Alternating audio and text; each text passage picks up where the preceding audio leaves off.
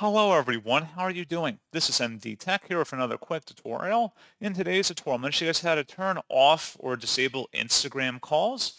So this should hopefully be a pretty straightforward process here, guys. And without further ado, let's go ahead and jump right into it. So all you have to do is sign into your Instagram account and select your profile icon in the bottom right corner to launch your profile page. Then you want to select the hamburger icon at the top right and where it says how you use Instagram, select where it says notifications, and select where it says calls. And where it says video chats, you can turn that off just by selecting the off option right there. You can also select from profiles you follow, or if you want to re-enable it later, you can select from everyone. And that's pretty much all you have to do. So pretty straightforward process, guys. And as always, thank you for watching. I do hope that I was able to help you out, and I do look forward to catching you all in the next tutorial. Goodbye.